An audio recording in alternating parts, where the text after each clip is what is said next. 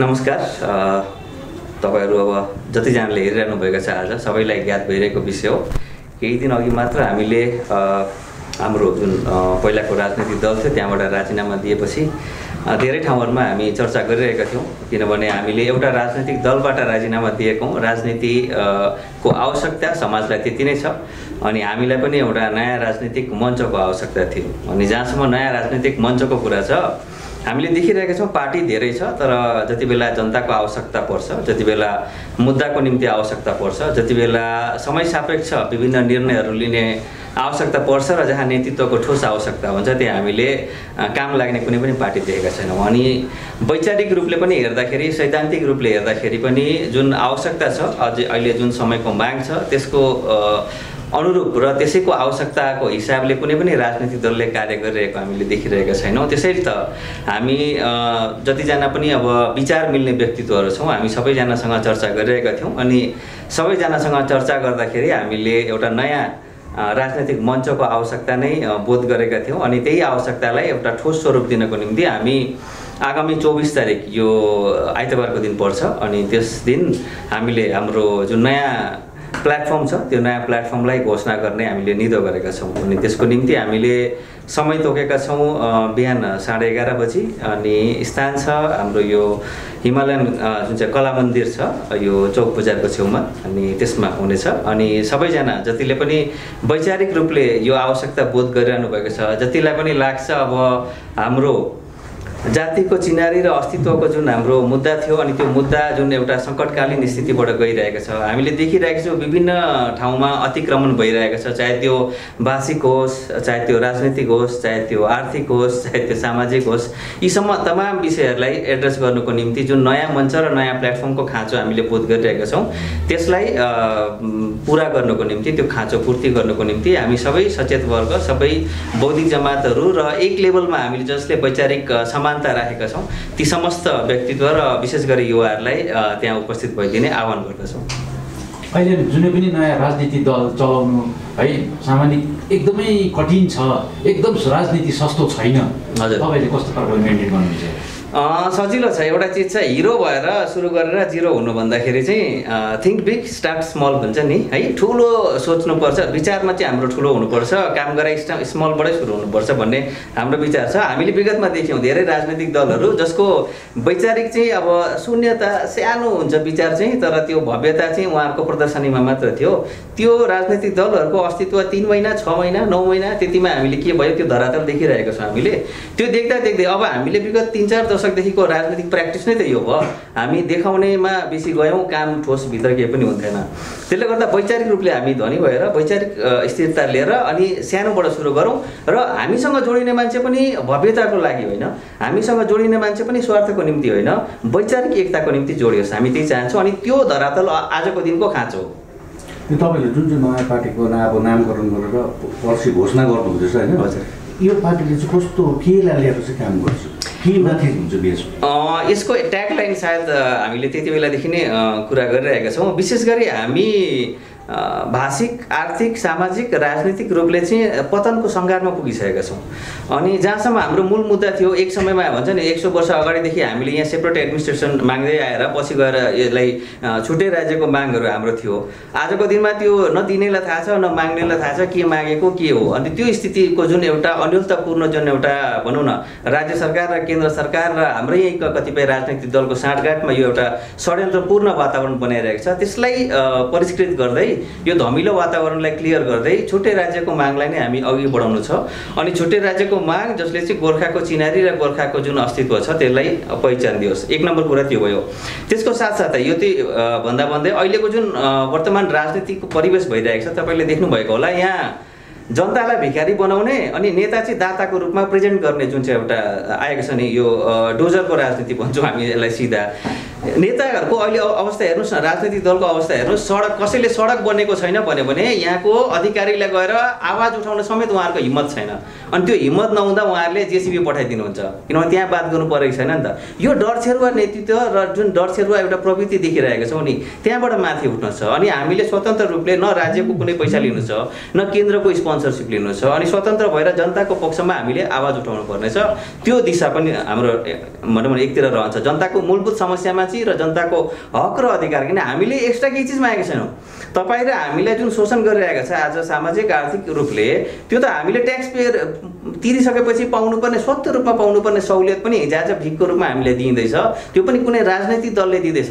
एडमिनिस्ट्रेसनको थ्रुबाट आएको छैन नि। त्यो विषय र त्यो षड्यन्त्रलाई हामीले बुझ्नुपर्छ अनि त्यसलाई पनि कसरी हुन्छ रेक्टिफाई गरेर सही दिशातर्फ राजनैतिक अवधारणा नै गलत भइरहेको छ।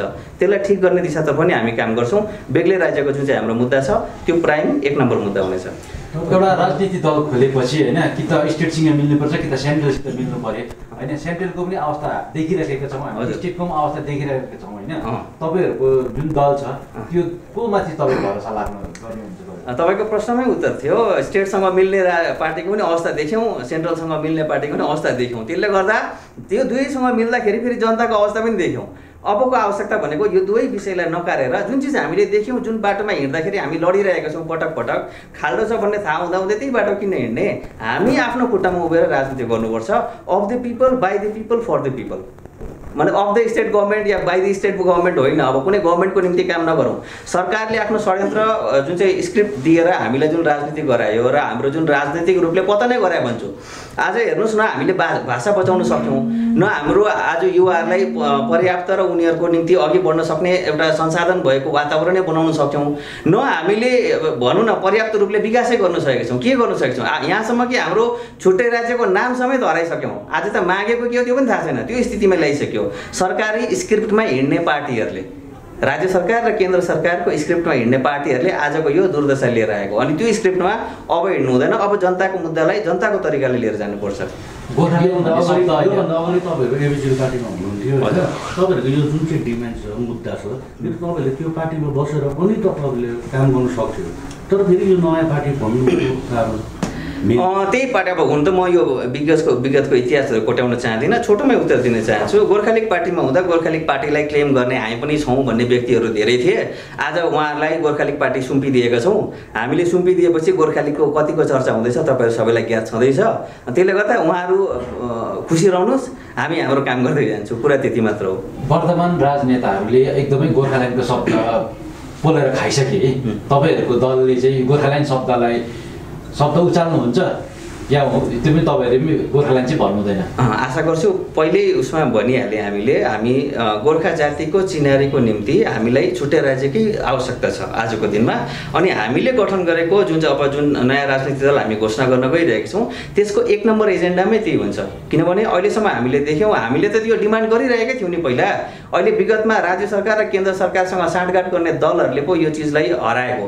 उनीहरूको कम्पल्सनमा छन् होला उनीहरूको साँठगाँठमा छन् होला बोल्न सक्दैन होला होला। तर यदि हामी राज्य सरकार र केन्द्र सरकारसँग उनीहरूलाई यदि हामीले हाम्रो जिब्रो पहिल्यै बन्दकी राखेका छैनौँ भने हामी त बोल्न सक्छौँ नि त। त्यही त त्यही सिद्धान्तमा त हामी काम गर्ने कुरा गर्दैछौँ। यहाँनिर धेरै राजनीतिक दलहरूले युवा पिँढीहरूलाई राजनीतिकमा झन्डा समाउने कार्य मात्रै गरिरहेको थियो है युवा पिँढीहरूलाई प्रयोग गर्ने काम मात्रै गरिरहेको थियो। यसलाई लिएर चाहिँ तपाईँहरू अब कस्तो प्रकारले चाहिँ यसलाई अगाडि त्यसकै निम्ति त अब आजको दिनमा हेर्नुहोस् न युवाहरूसँग विकल्प के छ? कि त तपाईँ रोजगारको निम्ति पलायन हुनु पर्यो कि त तपाईँले यहाँको स्थानीय राजनीतिक जुन झन्डाहरू छ तिनीहरूलाई झन्डा बोकेर उनीहरूकै चाप्लुसी गर्दै आफ्नो जीविका धान्नु पर्यो अनि यो जुन वातावरण बनाएको छ त्यो पनि षड्यन्त्रपूर्ण नै हो।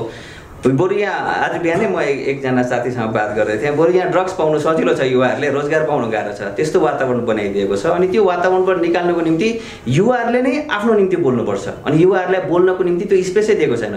आजको डेटमा हेर्नुहोस् राजनीतिक दलमा नेताको जिन्दाबाद र मुर्दाबाद भन्नु मात्र राजनीति भनेर सिकाइएको छ युवालाई। जबकि युवाहरूले आफ्नो हक अधिकार र आफ्नो जुन मौलिक अधिकारहरू छ उनीहरूलाई चाहिएको के हो? उनीहरूलाई अघि बढ्नुको निम्ति जुन वातावरण चाहिएको छ त्यसको स्पेस क्रिएट गर्नुको निम्ति उहाँहरूलाई बोल्ने कुनै ठाउँै छैन। नेताको एउटा तपाईँले कुनै पनि कुरा लेख्नुभयो त्यो नेताको यदि गल्तीमा छ नेताकै गल्ती छ भने त्यसमा चर्चा गर्दैन नि युवाले। आफ्नो नेताको नाक थाप्नु मात्र राजनीति सोचिरहेको छ। त्यो वातावरणबाट बाहिर निकाल्नु छ। युवाहरूले ऱ्यासनली र क्रिटिकली सोच्न सक्ने वातावरण दिनु सक्नुपर्छ। अनि त्यसले गर्दा हामी अहिले जति पनि तपाईँहरूले देख्नुहुँदैछ यो नयाँ सङ्गठन हामी घोषणा गर्न गइरहेका छौँ। त्यसमा समस्त अनुहारहरू युवा नै छन्। युवाहरू स्वतन्त्र युवाहरू जसले कुनै नेताको चाप्लुसी नगरिकन सहीलाई सही र गलतलाई गलत भन्न सक्छन्। त्यस्ता युवाहरू विचार मिल्ने युवाहरू एक जमातमा र एक ठाउँमा आएर हामीले यो मञ्च तयार गरेको। अनि ती युवाहरू तपाईँले जुन युवाहरूको कुरा गर्नुभयो ती तमाम युवा युवाहरू जसले आफूलाई भिक्टिम सोच्छन् ती तमाम युवाहरू जसलाई राजनैतिक दलले केवल स्वार्थको निम्ति प्रयोग मात्र गरिरहेका छन् त्यस्तै युवाहरूलाई हामी आह्वान गर्न चाहन्छु। आउनुहोस् अघि मिलेर काम गरौँ। तपाईँहरूले यो सङ्गठन सुरु गर्दाखेरि तराई हिल तराई डुवर्स सम्पूर्ण क्षेत्रलाई नै समेटेर गर्नु चाहिँ कति यो राम्रो प्रश्न सोध्नुभयो। हामीले जति बेला हाम्रो सिम्बल सयपत्रीको प्रचार सुरु गरेका थियौँ त्यति बेला धेरैले मधेसको सयपत्री र पहाडको मखमली फुल मात्र भन्न थाले। हामी कुरा गर्छौँ डेढ करोड गोर्खाको। हामी कुरा गर्छौँ सर्वभारतीय गोर्खाको चिनारी र परिचयको हुनुपर्छ भन्ने विभिन्न मञ्चबाट भाषण दिइरहेको हुन्छौँ। तर जति बेला हामीले त्यसलाई एउटा राजनैतिक अवधारणाको रूपमा ल्याउनुपर्छ त्यति बेला फेरि हाम्रो दिमाग सङ्कुचित भएर चाहिँ पहाड पहाड पहाड मात्रै भन्न त्यो होइन मेरो आफ्नो व्यक्तिगत परिचय नै मेरो जन्म डुवर्समा भएको। अनि म आफ्नो मेरो अहिले पनि फ्यामिलीहरू तराईमा हुनुहुन्छ। त्यसले गर्दाखेरि व्यक्तिगत रूपले पनि मैले सोच्दाखेरि चाहिँ यो सर्वभारतीय स्तरकै सोच्नु पऱ्यो। किनभने म एउटा पर्टिकुलर यो तिन थुम्का सेन्ट्रिक सोच राख्नै सक्दिनँ। किन म त्यहाँदेखि बाहिरको सोच भएको र त्यहाँदेखि बाहिर हुर्केर बढेको व्यक्ति हो। नयाँ राजनीतिक दलले इलेक्सनमा भाग लिन्छ कि लिँदैन अब हुनु त भएको छैन। हुनेवाला नै छ भइ नै हाल्छ इलेक्सनमा जान्छ कि जाँदैन? कुनै पनि इलेक्सन। अँ कुनै पनि इलेक्सन राजनैतिक दलले त इलेक्सनमा भाग लिन्छ। तर तपाईँको यो क्वेसन मलाई लाग्छ जिटे सेन्ट्रिक हो त्यो सिधै भनिदिइहाल्छु। अनि जिटे सेन्ट्रिक जुन विषय छ हामी कतिपय योजना छ हामीसँग त्यो योजनालाई चाहिँ चौबिस तारिकको निम्ति सस्पेन्समा राखौँ। चौबिस तारिकको दिन त्यो सही मञ्च हुन्छ हामीले घोषणा गर्नुपर्ने धेरै कुरा छ। अनि जनता समक्ष राम्रो नयाँ कुरा नै पस्किन्छौँ चौबिस तारिक गोर्खाल्यान्डको कुरा लिएरै जान्छु भन्नुभयो है नयाँ पार्टीले स्टार्ट गर्दा। तर तपाईँ गो स्टेट गभर्मेन्ट न त सेन्ट्रल गभर्मेन्टसँग मिल्ने भने त्यो चाहिँ कसरी लानुहुन्छ? होइन जस्तै हामीले थानामा न्यायको निम्ति एफआइआर लेख्दाखेरि हवलदारको जब जो गर्नै पर्छ भन्ने छैन नि। त्यो उनीहरूको काम हो। सरकार पक्षमा जो छन् उनीहरू दिने हो हामी लिने पक्ष हो। दुईजना अलग अलग हुनैपर्छ एउटै पार्टीमा हुनुपर्छ भने त देशमा एउटै मात्र पार्टी हुन्थ्यो होला अहिले होइन? केन्द्र सरकारले दिनुपर्ने। अब जस्तै अहिले हामी बङ्ग पश्चिम बङ्गालमा छौँ यहाँ टिएमसीको सरकार छ। अन्त उनीहरूले पनि बिजेपीकै सरकार हुनुपर्छ भन्नु त्यो त अलिकति मिलेन लजिकल कुरा हो जस्तो मलाई लाग्दैन। त्यसले गर्दा बाहिर बसेर नै हामीले माग्नुपर्छ। त्यसो हुँदाखेरि हामीले माग्ने ठाउँमा हुन्छौँ। अदरवाइज हामी उहाँ गयौँ भने चाहिँ उनीहरूले जुन स्क्रिप्ट दिन्छन् त्यही स्क्रिप्टमा बोल्नुपर्छ। हामीले हाम्रो जनप्रतिनिधिहरू देखिरहेका छौँ। बिजेपीमा जानुभन्दा अगाडि कस्तो बोल्दै थिए? बिजेपीमा गएपछि के हालत भयो उनीहरूको? तमाम विषय हामी जनता अघि छर्लङ्ग छँदैछ।